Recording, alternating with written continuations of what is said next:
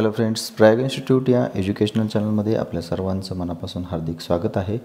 चालू घडामोडी जानेवारी ते डिसेंबर दोन हजार तेवीसमधील ज्या महत्त्वाच्या आहेत परीक्षेला आपल्याला आवश्यक असे गुण मिळविण्याकरिता एक्झाम ओरिएंटेड जे काही क्वेश्चन्स असतील ते ते क्वेश्चन्स आपण एम सी क्यूजमध्ये स्पष्टीकरणासहित एक्सप्लेनेशनसहित पाहत आहोत.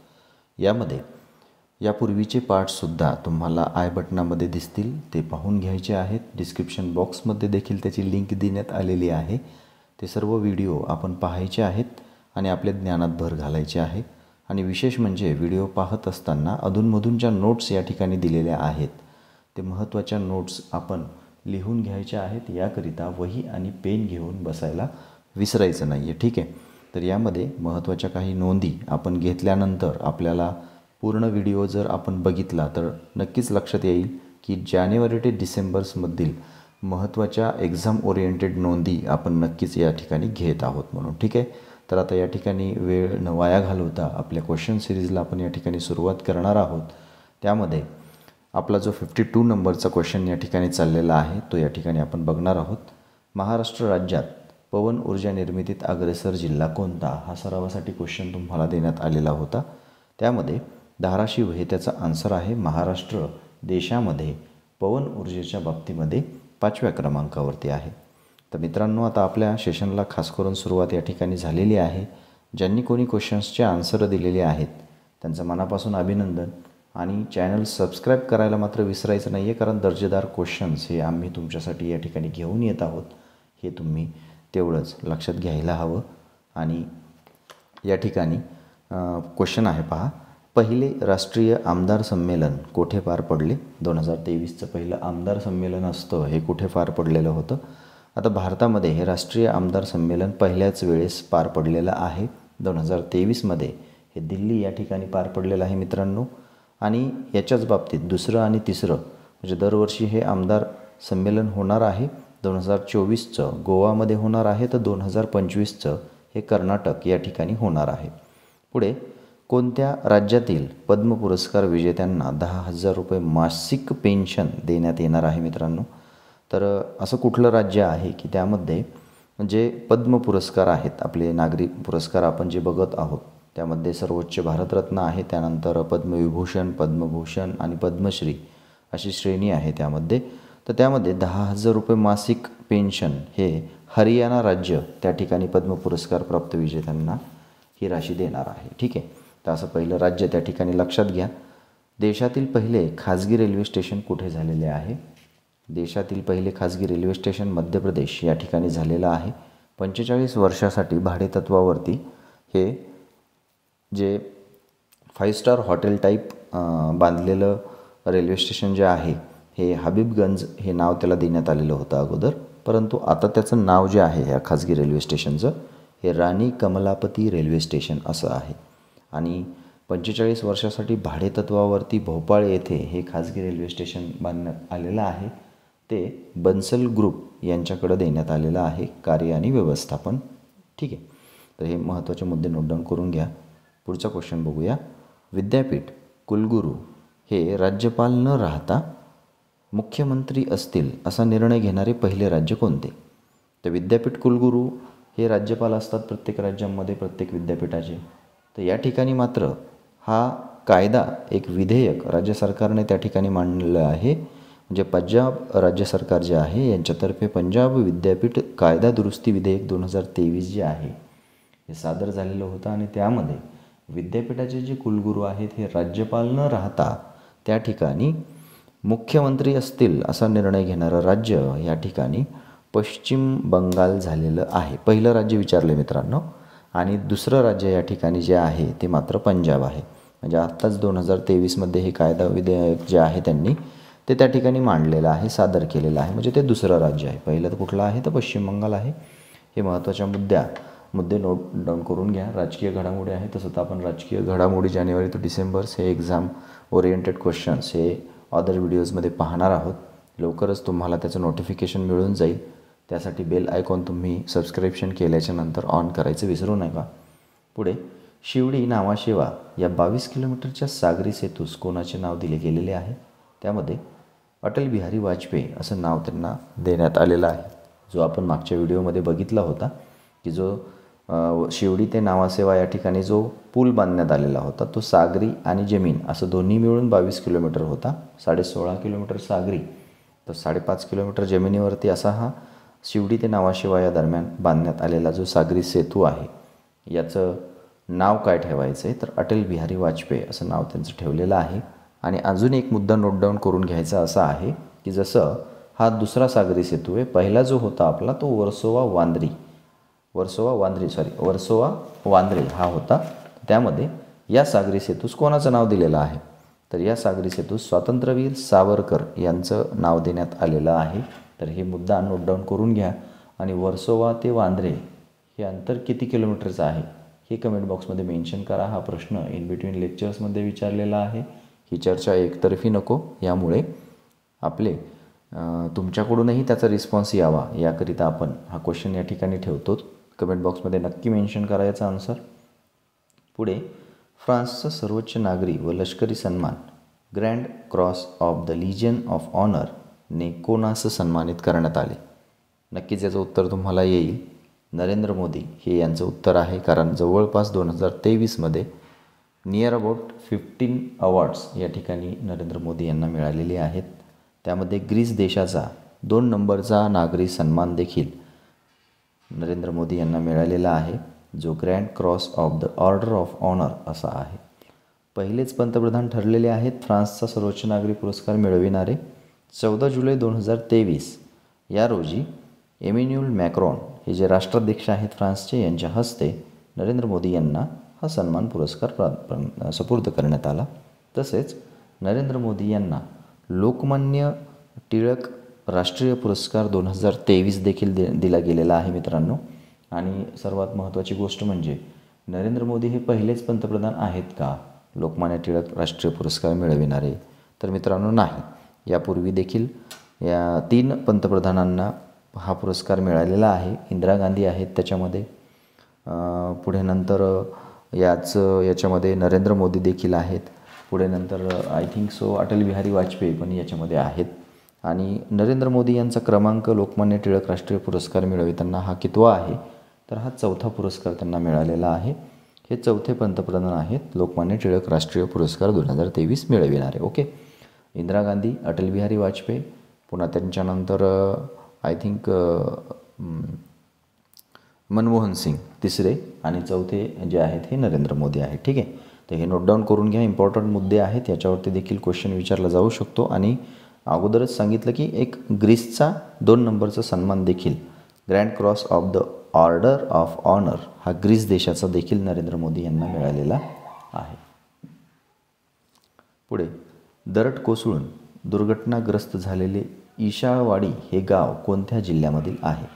तर दोन हजार तेवीस एकोणावीस जुलै दोन हजार तेवीसमध्ये ही घटना जी घडलेली आहे खालापूर तालुक्यामध्ये आणि त्याचा जिल्हा जो आहे हा रायगड आहे.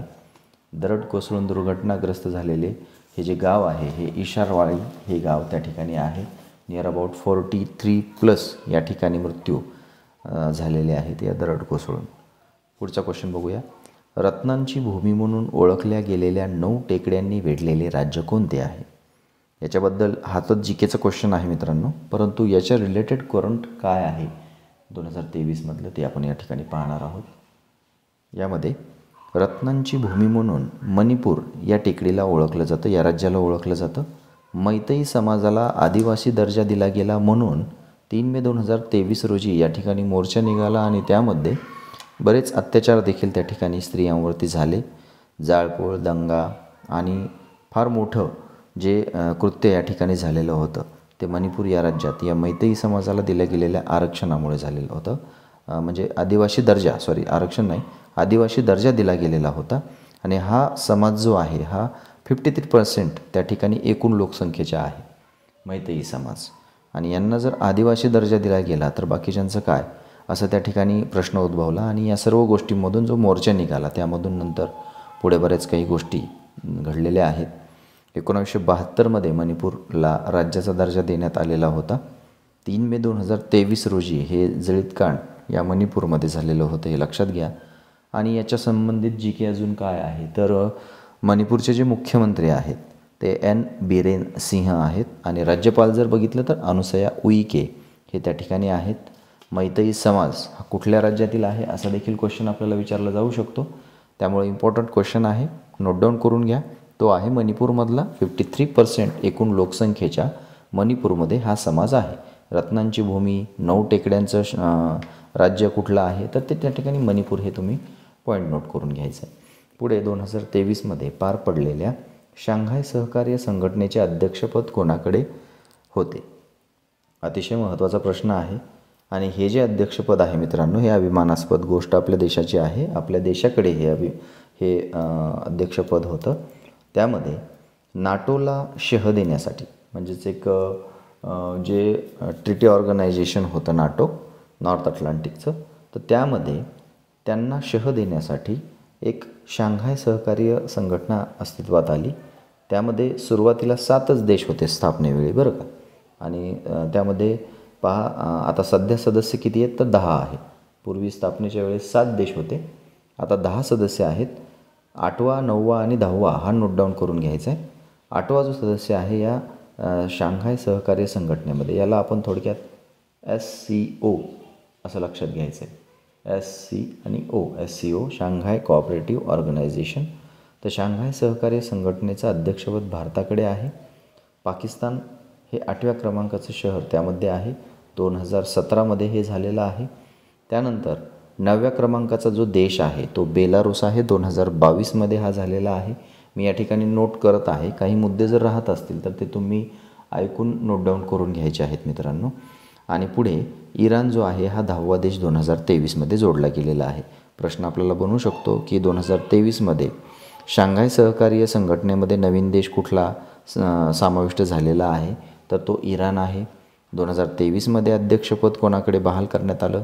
तर ते भारताकडे बहाल करण्यात आलेलं आहे.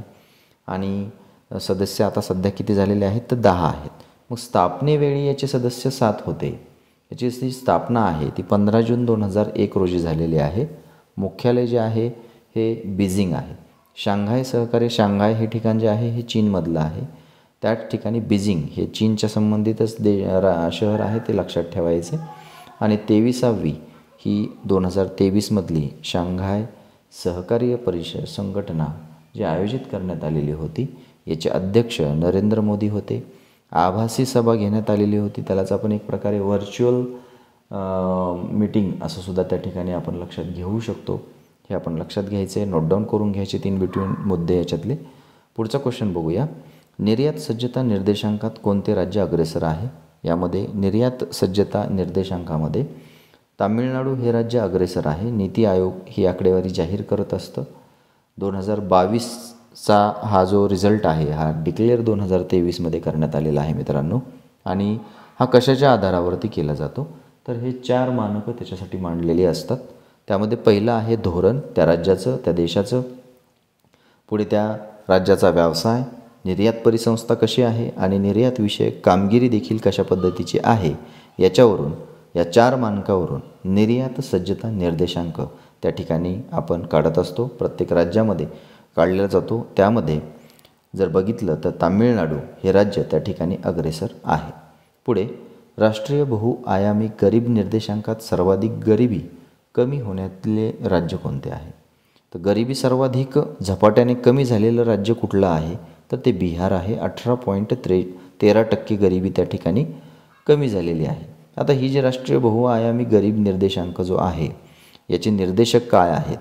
तर ते मानव विकास निर्देशांक जो होता ना आपला तोच एक प्रकारे याचे निर्देश त्याच्यामधले आहेत. आरोग्य आहे शिक्षण आहे आणि राहणीमान आहे. ठीक आहे? तर नीती आयोगाद्वारे हे सुद्धा प्रसिद्ध केलं जातं. आणि दोन हजार सोळाच्या नंतर या पूर्ण सखोल घडामोडी विचारात घेता राष्ट्रीय बहुआयामी गरीब निर्देशांक या ठिकाणी दोन हजार तेवीसचा जो जाहीर झालेला आहे त्यामध्ये महाराष्ट्राचा पंधरावा क्रमांक लागत आहे. सहा पॉईंट नव्याण्णव टक्के गरिबी महाराष्ट्रातली कमी झालेली आहे. म्हणजे बिहारमध्ये गरिबी झपाट्याने कमी झाली याचा अर्थ त्या ठिकाणी एक कार्य जे आहे त्या शासनाचं प्रशासनाचं हे थोडक्यात उत्तम आहे असं म्हणायला काही हरकत नाही आहे किंवा योजना असतील किंवा नियोजन असेल याची प्लॅनिंग त्यांची थोडीशी व्यवस्थित झाली असेल आणि त्यांनी काय केलेलं आहे किंवा काय झालेलं असेल हे सर्व त्या ठिकाणी ते एक राजकीय अभ्यासक आहे. तो आपल्याला लक्षात घ्यायचा नाही आहे या ठिकाणी उत्तर प्रदेशची चौदा पॉईंट पंच्याहत्तर आहे तिसऱ्या क्रमांकावर तर दुसऱ्या क्रमांकावरती मध्य प्रदेश आहे. म्हणजे सर्वाधिक उतरता क्रमांकानुसार जर क्वेश्चन आपल्याला विचारण्यात आला जसं एम पी एस सीच्या नागरी सेवा पूर्व परीक्षेमध्ये तर त्यामध्ये बिहार त्यानंतर मध्य प्रदेश त्यानंतर उत्तर प्रदेश असं या या ठिकाणी येईल. जर वन लाईनर क्वेश्चन असेल तर महाराष्ट्राचा क्रमांक त्या ठिकाणी राष्ट्रीय बहुआयामी गरिबी निर्देशांकात विचारला जाईल तर तो आहे पंधरावा क्रमांक. ठीक आहे? आणि देशाच्या बाबतीत जर विचारलं की सरासरी देशामध्ये पाच वर्षामध्ये किती गरिबी कमी झाली? ठीक आहे? तर त्यामध्ये नीती आयोगाने सांगितलेलं आहे की पाच वर्षामध्ये नऊ पॉईंट एकोणनव्वद टक्क्यांची घट या ठिकाणी झालेली आहे. पुढे क्वेश्चन बघूया. ऑपरेशन बॉर्डर सॉर्ड हे कोणत्या दोन देशात राबविण्यात आलेले आहे? भारत आणि अमेरिका या दोन देशामध्ये ऑपरेशन बॉर्डर सॉर्ड हे राबविण्यात आलेलं आहे आणि हे कशासाठी होतं? ते नोट डाऊन करून घ्या. ड्रग्सची जी तस्करी आहे किंवा वाहतूक आहे ही दोन देशांमधली रोखण्याकरिता हे ऑपरेशन त्या ठिकाणी राबविण्यात आलेलं होतं. पुढे राष्ट्रीय महामार्गाभोवती बांबूंपासून कुंपण उभारण्यात येणार असून याचा पहिला प्रयोग कोणत्या राज्यात सुरू केला आहे? तो आहे छत्तीसगड. एक्सप्रेस वे राष्ट्रीय महामार्ग म्हणून जो ओळखला जातो याच्या बाजूला बांबूंपासून कुंपण उभारण्यात येणार आहे आणि हा पहिला प्रयोग छत्तीसगड या राज्यात सुरू झालेला आहे. त्यानंतरचा क्वेश्चन पाहूया. स्मार्ट सिटी पुरस्कार दोन हजार बावीस अनुसार सर्वोत्कृष्ट शहरी व राज्य पुरस्कार दोन हजार तेवीसमध्ये अनुक्रमे कोणास घोष कोणास देण्यात आलेला आहे. आता स्मार्ट सिटी अंतर्गत पुरस्कार जे आहेत दोन हजार बावीसचे हे तेवीसमध्ये देण्यात आलेले आहेत आणि हे कोणाला दिलेले आहेत? त्यामध्ये बघा स्मार्ट सिटी पुरस्कार म्हणून आणि सर्वोत्कृष्ट शहरी व शहरी आणि राज्य शहर आणि राज्य या ठिकाणी आपल्याला पर्यायातून अनुक्रमे निवडायचं आहे. तर याचा आन्सर तुम्हाला या ठिकाणी मी सांगतो. इंदोर आणि मध्य प्रदेश हे याचा आन्सर आहे. त्यामध्ये केंद्रशासित प्रदेश जर बघितला तर चंदीगड हे त्याचं आन्सर आहे. महाराष्ट्रामधील पिंपरी चिंचवड हे एक नंबरला आहे आणि सोलापूर हे दोन नंबरला त्या ठिकाणी निवडण्यात आलेलं आहे. परंतु देशामध्ये जर बघितलं तर देशातील सर्वोत्कृष्ट शहर आणि राज्य हा जो पुरस्कार आहे तो इंदोर शहर म्हणून आणि राज्य म्हणून मध्य प्रदेशाला मिळालेला आहे. बाकीचे पर्याय तुम्हाला या ठिकाणी सहज दिलेले आहेत. पंचवीस जून दोन हजार पंधरा रोजी स्मार्ट सिटी मिशन योजना सुरू करण्यात आलेली होती. आणि गृहनिर्माण व शहरी व्यवहार मंत्रालयद्वारे हा स्मार्ट सिटी पुरस्कार त्या ठिकाणी देण्यात आलेला आहे. पुढे चंद्रावर सॉफ्ट लँडिंग करणारा भारत देश हा कितवा देश ठरलेला आहे? तर हा चौथा देश ठरलेला आहे. पाचवा देश कोणता आहे? कोण चंद्रावरती पाचवा देश लँड करू शकतो किंवा पाठवलेला आहे मिशन? हे करंट्समधलं आहे. त्यामुळे तुम्हाला लगेच त्याचा आन्सरही लक्षात आला असेल. जपान या देशाने त्या ठिकाणी पाचवा किताब मिळवू शकतो पाठवलेला आहे. यान त्याच्याबद्दलही करंट अफेअर्स आपण बघणार आहोत. त्यामध्ये बघा चौदा जुलै दोन हजार तेवीस रोजी दुपारी दोन वाजून पस्तीस मिनिटांनी श्रीहरिकोटा जे आंध्र प्रदेशमध्ये आहे त्या ठिकाणावरून चंद चंद्रावरती यान पाठवण्यात आलेलं होतं चांद्रयान तीन. सहाशे पंधरा कोटी रुपयाचा खर्च त्या ठिकाणी झालेला होता. आणि सक्सेसफुली हे मिशन चंद्रावरती दक्षिण भागावरती लँड कधी झालं? तर ते तेवीस ऑगस्ट दोन हजार तेवीस रोजी झालेलं आहे. तर इस्रो याने भारताचं जे चांद्रयान तीन आहे हे दक्षिण भारतामध्ये उतरविणारा पहिलाच देश असं जगाच्या पाठीवरती एक कीर्तिमान हासिल केलेला आहे प्राप्त केलेला आहे. नेक्स्ट क्वेश्चन बघूया. अयोग्य जोडी आपल्याला ओळखायची आहे. रामोशी समाज विकासाकरिता रामोजी उमाजी नाईक आर्थिक विकास महामंडळ स्थापन केलेलं आहे. लिंगायत तरुण समाज विकासासाठी जगज्योती महात्मा बसवेश्वर आर्थिक विकास महामंडळ स्थापन केलेलं आहे. गुरव समाजाच्या विकासासाठी या ठिकाणी संत काशीबा गुरव युवा आर्थिक विकास महामंडळ स्थापन केलेलं आहे. वडार समाज विकासासाठी पैलवान कैलासवासी मास मारुन मारुती चव्हाण आर्थिक विकास महामंडळ स्थापन केलेलं आहे. तर या ठिकाणी चारही समाज विकास मंड विकासासाठी जे आर्थिक विकास महामंडळ स्थापन करण्यात आलेले आहेत ते योग्य आहेत. यातील एकही जोडी अयोग्य नाही हे या ठिकाणी आपण लक्षात घ्यायचे. पुढचा क्वेश्चन पहा. ब्रिक्स शिखर परिषद दोन हजार तेवीस कोठे पार पडली? तर ब्रिक्सची शिखर परिषद दोन हजार तेवीसची ही पंधरावी शिखर परिषद होती. जोहान्सबर्ग दक्षिण आफ्रिका या ठिकाणी ही पार पडलेली आहे. जी सोळावी दोन हजार चोवीसमधली होणार आहे ती कझान रशियामधल्या भागामध्ये होणार आहे. ब्रिक्समध्ये सुरुवातीला बी म्हणजे ब्राझील आर म्हणजे त्या ठिकाणी रशिया सॉरी येस आय म्हणजे इंडिया सी म्हणजे चायना आणि यस म्हणजे साऊथ आफ्रिका. तर साऊथ आफ्रिका जो आहे हा दोन हजार दहामध्ये जॉईन झालेला आहे. हा जो ब्रिक होता हा ब्रिक चार देशांचा समूह होता. त्यानंतर त्या ठिकाणी पाच देश म्हणजेच पाचवा देश दक्षिण आफ्रिका दोन हजार दहामध्ये ॲड झाला. आणि यानंतर यामध्ये दोन हजार तेवीसमध्ये सहा देश नव्याने ॲड करण्यात आलेले आहेत मित्रांनो. आणि हे सहा देश एक जानेवारी दोन हजार चोवीसपासून ब्रिक्सचे सदस्य असतील असं सांगितलेलं आहे. म्हणजे आपल्याला वन वन लाईनर क्वेश्चन येऊ शकतो किंवा नागरी सेवा पूर्वमध्ये विधानात्मक क्वेश्चन देखील या ठिकाणी ब्रिक्सवर विचारला जाऊ शकतो. ब्रिक्सची स्थापना आणि तसेच सप्टेंबर दोन हजार सहापासून हे झालेलं आहे. नंतर तेविसावी दोन हजार तेवीसमध्ये पार पडलेली त्यामध्ये नव्याने सहा देश कोणते ॲड झाले किंवा टोटल जे देश आहेत ते अकरा देश या ठिकाणी तिथं झालेले आहेत. इजिप्त इथोपिया आणि इराण हे ईपासून सुरू झालेले आहेत. इजिप्त इथोपिया आणि इराण आणि पुढचे सौदी अरेबिया अरब अमिराती आणि अर्जेंटिना हे मात्र या ठिकाणी तीन सौदी अरेबिया अरब अमिराती आणि अर्जेंटिना हे अवरून तीन आहेत असं आपण त्या ठिकाणी लक्षात घ्यायचं आहे म्हणजे हे सहा आणि पूर्वीचे पाच असे एकूण आता अकरा सदस्य एक जानेवारी दोन हजार चोवीसपासून या ठिकाणी झालेले आहेत. कुठले? तर ब्रिक्सचे. ठीक आहे? ब्रिक्स शिखर परिषद कुठे झाली? तर ती दोन हजार तेवीसमध्ये पंधरावी होती. जोहान्सबर्ग दक्षिण आफ्रिका या ठिकाणी झालेली होती. पुढचा क्वेश्चन पाहूया. सिनेमॅटोग्राफ विधेयकानुसार चित्रपटाच्या परवान्याने परवान्याचे नूतनीकरण किती वर्षांनी करावे लागणार आहे? तर या ठिकाणी सिनेमॅटोग्राफ विधेयक जे आहे त्याच्यानुसार आजीवन हे वैध राहणार आहे. पहिले सुरुवातीला हे दहा वर्ष त्या ठिकाणी रिन्यू करावं लागायचं. आता मात्र हे आजीवन वैध राहणार आहे. एकोणावीसशे बावन्नला सिनेमॅटोग्राफ कायदा करण्यात आलेला होता. यामध्ये सिनेमॅटोग्राफ विधेयकामध्ये कॉपीराईट्सच्या पायरसीला आळी घाल आळा घालण्यासाठी तीन महिने ते तीन वर्षाचा कारावास त्या ठिकाणी ठेवण्यात आलेला आहे. तीन लाख रुपये ऑडिट केलेल्या एकूण उत्पादक खर्चाच्या पाच टक्क्यापर्यंत दंड मात्र त्या ठिकाणी आवर्जून वसूल केला जाणार आहे. आणि दोन हजार तेवीसमध्ये या कायद्यामध्ये सु सुधारणा करण्यात आलेली आहे. त्याच्यानुसार आपण एक मुद्दा यामध्ये घेतलेला आहे जो आहे आजीवन वैध कालावधी. कशाचं? तर परवान्याचं नूतनीकरणाचं. पुढे रानकवी निसर्गाशी एकरूप झालेले ज्येष्ठ कवी यांचे निधन तीन ऑगस्ट दोन हजार तेवीस रोजी झाले. यांचं नाव काय आहे? अतिशय सिंपल क्वेश्चन आणि सोपं क्वेश्चन आहे परंतु माहिती देणारा आहे आणि परीक्षेत विचारला जाणारा आहे. रानकवी म्हटलं की नादो महानोर यांचं नाव आपल्याला या ठिकाणी आवर्जून घेता येईल. सोळा सप्टेंबर एकोणावीसशे बेचाळीस रोजी या निसर्ग कवीचा रानकवीचा जन्म झालेला आहे आणि ऐंशीव्या वर्षी त्यांचं निधन झालेलं आहे. एकोणावीसशे सदुसष्टमध्ये रानातल्या कविता या संग्रहाने त्यांनी सुरुवात केलेली होती या कवितांची.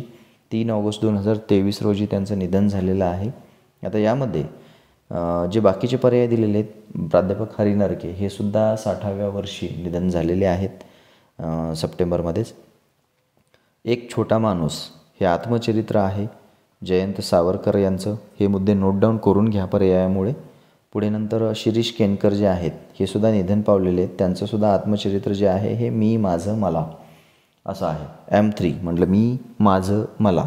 अशा पद्धतीचं आत्मचरित्र आहे. नाव थोडंसं हटके आहे त्यामुळं क्वेश्चन वन लायनरमध्ये विचारलं जाऊ शकतो. आणि शिरीष केनकरांबद्दल जर सांगायचं म्हटलं तर हे ज्येष्ठ लेखक आहेत पत्रकार आहेत चित्रपट समीक्षक देखील आहेत. रायगड या ठिकाणचे आहेत हे. आणि एक छोटा माणूस हे आत्मचरित्र कोणाचं सांगितलं होतं? ते हे जयंत सावरकर यांचं सांग सांगितलेलं होतं. तर पुढे देशातील पहिले वॉटर म्युझियम कोठे होणार आहे? भंडारदरा या ठिकाणी देशातील पहिले वॉटर म्युझियम होणार आहे. कारण या भंडारदराला भंडारदराला शंभर वर्ष पूर्ण झालेली आहेत दोन हजार तेवीसमध्ये ओके? पुढे जातीनिहाय जनगणना करणारे देशातील दुसरे राज्य कोणते? आता दुसरे राज्य या ठिकाणी निवडायचे म्हटल्यावर नक्कीच पहिलं राज्यसुद्धा नोट डाऊन करून घ्यावं लागेल मित्रांनो. सॉरी सॉरी राजस्थान हे या ठिकाणी दुसरे राज्य आहे. तर मग पहिलं राज्य कुठलं असेल? गेस करा कुठलं असेल बरं? तर नक्कीच बरोबर आलं असेल काही जणांचं काही जणांचं महाराष्ट्र असं काढलं असेल. पण लक्षात घ्या बिहार हे पहिलं राज्य आहे जातीनिहाय जनगणना करणारं. त्याच्यानंतर जगात सर्वाधिक हिंदू कोणत्या देशात आहेत? जगात सर्वाधिक हिंदू हे नेपाळ या देशामध्ये आहेत. भारतामध्ये अठ्ठ्याहत्तर पॉईंट नऊ टक्के आहेत तर नेपाळमध्ये ऐंशी पॉईंट सहा टक्के हिंदू या ठिकाणी आहेत. त्यामुळे एक विचारात घेण्याची गोष्ट अशी आहे की महाराष्ट्र सॉरी भारतामध्ये हिंदुत्व देश म्हणून आपण ओळखतो. मात्र हा आता दोन नंबरला आहे नेपाळ एक नंबरला आहे. नेक्स्ट क्वेश्चन पहा. सर्वोत्कृष्ट पर्यटन ग्राम म्हणून केंद्रीय पर्यटन मंत्रालयाने कोणत्या गावाची निवड केलेली आहे? सर्वोत्कृष्ट पर्यटन ग्राम दोन हजार तेवीस म्हणून. तर किरीट कोण? हे मुर्शिदाबादमधलं पश्चिम बंगालमधलं ठिकाण जे आहे गाव आहे हे या ठिकाणी सर्वोत्कृष्ट पर्यटन ग्राम म्हणून घोषित केलेलं आहे. आणि सर्वोत्कृष्ट ग्रामीण पर्यटनाच्या बाबतीमध्ये जर गाव बघितलं मी मुद्दा म्हणून या ठिकाणी आवर्जून डबल डबल पुन्हा पुन्हा सांगतो आहे गोंधळ व्हायला नको. सर्वोत्कृष्ट पर्यटन ग्राम हे किरीट कोण मुर्शिदाबाद पश्चिम बंगालमधलं आहे. तर सर्वोत्कृष्ट ग्रामीण पर्यटन गाव जर बघितलं तर हे महाराष्ट्रामधलं आहे मित्रांनो. कोल्हापूर जिल्ह्यामधलं आहे. नाव नक्कीच आवर्जून या ठिकाणी लिहून घ्या. पाटगाव हे त्या ठिकाणी आहे. तर पर्यटनाच्या बाबतीमध्ये जी के एक तुम्हाला लक्षात येण्यासाठी किंवा वन लायनरमध्ये विचारला जाऊ शकतो. त्यामुळे क्वेश्चन त्या ठिकाणी जी केच्या बाबतीत या पर्यटनाच्या बाबतीत विचारतो. त्याचा आन्सर कमेंटमध्ये मेन्शन करा. जागतिक पर्यटन दिन केव्हा साजरा केला जातो? ओके जागतिक पर्यटन दिन म्हणजे वर्ल्ड टुरिस्ट डे कधी साजरा केला जातो? ओके पुढे दोनशे एकोणावीस एकरावर पसरलेले यशोभूमी सेंटर कोठे बांधले गेले? त्यांना नऊ लाख चौरस किलोमीटरचे हे यशोभूमी सेंटर जे आहे हे द्वारका दिल्ली या ठिकाणी बांधलेले आहे. आणि ओंकारेश्वर मध्य प्रदेश आहे याच्या बाबतीत या पर्यायाच्या बाबतीत जर सांगायचं म्हटलं तर स्टॅच्यू ऑफ वननेस या ठिकाणी करण्यात आलेला आहे. त्याच्याबद्दल संबंधित माहिती जी आहे हे आपण नेक्स्ट लेक्चरमध्ये बघणार आहोत. सतरा सप्टेंबर दोन हजार तेवीस रोजी याचं उद्घाटन झालेलं आहे पहिल्या टप्प्याचं. जगातील सर्वात मोठं केंद्र आहे. परिषदा प्र प्रदर्शने यांचं आयोजन करण्यासाठी दोनशे एकोणावीस एकरावरती हे पसरलेलं आहे. जवळपास दोन ते तीन हजार गाड्यांची पार्किंग आणि दहा हजार लोक ॲट अ टाईम यामध्ये बसू शकतील असं हे यशोभूमी सेंटर नऊ लाख चौरस मीटर अशा पद्धतीचं आहे. दोन हजार तेवीसची जी ट्वेंटी परिषद कोठे पार पडली? तर ती भारत या ठिकाणी पार पडलेली आहे. एकोणावीसशे नव्याण्णवला जी ट्वेंटीची स्थापना झाली. जी ट्वेंटीच्या परिषदेचा लोगो जो आहे हा भारताच्या आपल्या वाळू शिल्पकार वाळू शिल्पकार सॉरी वाळू शिल्पकार सुदर्शन पटनायक यांनी तयार केलेला आहे. जी ट्वेंटीची परिषद आपल्या भारतामध्ये होणार आहे हे सर्वांना त्या ठिकाणी माहीत झालेलं आहे. क्वेश्चन परीक्षेमध्ये विचारलं जाऊ शकतो. त्याच्या रिलेटेड देखील जी की आपल्याला विचारलं जाऊ शकतं. कारण दोन हजार तेवीसमध्ये जिकडे तिकडे या जी ट्वेंटी म्हणजेच ग्रुप ट्वेंटी देशांच्या सद परिषदेची चर्चा किंवा आपल्याला धामधूम दिसत होती.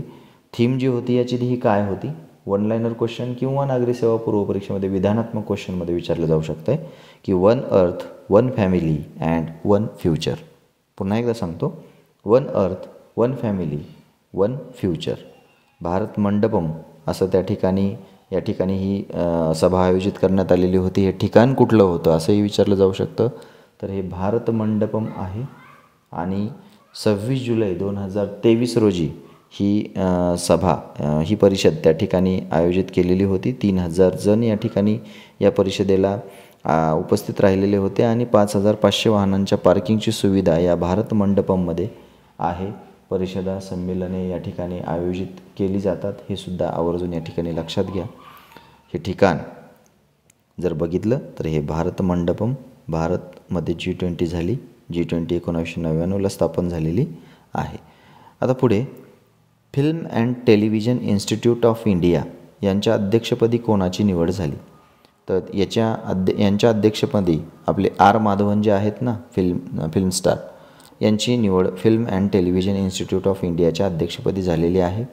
एफ आ एफ टी आय आय असं त्याचा लॉ शॉर्ट फॉर्म आहे. एफ टी आय आयचे अध्यक्ष कोण? असंही विचारलं जाऊ शकतं. आर माधवन हे त्याचे अध्यक्ष आहेत. एकोणावीसशे साठमध्ये या एफ टी आय आयची स्थापना झालेली आहे. एफ टी आय काय काय आहे? तर film and television institute of India आहे. ठिकाण याचं कुठलं आहे? याची स्थापना एकोणावीसशे साठमध्ये झाली. कुठल्या ठिकाणी झालं? तर पुणे या ठिकाणी याची स्थापना झालेली आहे मित्रांनो. पुढे या ठिकाणी लेक्चर खूप मोठं होतं आहे लास्ट बट वन क्वेश्चन आपण या ठिकाणी घेणार आहोत आणि तुमच्यासाठी एक क्वेश्चन या ठिकाणी आहे. तुमच्या पेशन्सबद्दल खरंच एकदा मनापासून तुमचं हार्दिक अभिनंदन. कारण हे तुमच्यासाठी फायद्याचे आहेत. स्पष्टीकरण करताना बऱ्याच गोष्टी तुम्हाला माहीत झालेल्या आहेत. व्हिडिओ संपल्यानंतर याचं चिंतन मात्र करा आणि खरंच सांगा की याच्यामधून किती क्वेश्चन्सची तुमची तयारी झालेली असेल. ठीक आहे? मी वाट पाहीन कमेंट्सची आणि जे नवीन असतील त्यांनी फक्त व्हिडिओ पाहून पुढे जाऊ नका मित्रांनो. तर दर्जेदार क्वालिटेड क्वेश्चन्स तुमच्यासमोर नेहमी घेऊन येण्यासाठी आम्हाला ती प्रेरणा मिळण्यासाठी चॅनलला सबस्क्राईब करायला मात्र विसरू नका. पुढे अयोग्य जोडी ओळखायची आहे. राज्य फूल जारूळ राज्य पक्षी हरियाल राज्य फुलपाखरू ब्लू मॉर्गन आणि राज्यगीत जनगणमन अयोग्य जोडी ओळखायची आहे. तर राज्यगीत या ठिकाणी अयोग्य जोडी आहे. राज्यगीत आपलं महाराष्ट्र गीत आहे. एकशे पाच ते एकशे चाळीस सेकंदामध्ये आपल्याला ते गायचं आहे. त्याच्याबद्दलही क्वेश्चन आपण पहिल्या पार्टमध्ये घेतलेला आहे. आवर्जून बघा डिस्क्रिप्शन बॉक्समध्ये सर्व व्हिडिओ करंट अफेअर्सचे दोन हजार तेवीसचे आहेत. दोन हजार पंधरामध्ये देशातील पहिलं राज्य राज्य फुलपाखरू म्हणून नावारूपास आलेलं आपलं राज्य आहे ब्लू मॉर्गन या ठिकाणी निळे फुलपाखरू नीलफरी फुलपाखरू म्हणून ओळखलं जातं आणि देशातील असं पहिलंच राज्य आहे की त्या ठिकाणी फुलपाखरू राज्य फुलपाखरू म्हणून ओळख दिली गेलेली आहे या ब्ल्यू मॉर्गनला हे नाव पण लक्षात घ्या. पुढे नंतर कां राज्याचा कांदळवन वृक्ष कुठला आहे? कांदळवन वृक्ष जो आहे तो देखील दोन हजार बावीसमध्ये भारतामध्ये सर्वात पहिलं राज्य कांदळवन वृक्षाचं जाहीर करणारं महाराष्ट्र ठरलेलं आहे. ते आहे सफेद चिंपी. सफेद चिंपी म्हणजेच पांढरी चिप्पी असं त्या ठिकाणी नाव आहे. कधी पांढरी चिप्पी विचारलं जाईल किंवा कधी सफेद चिप्पी असं विचारलं जाईल. हे दोन हजार बावीसमध्ये महाराष्ट्र राज्याने देशात ओळख केलेली आहे कांदळवन वृक्ष जाहीर करणारे.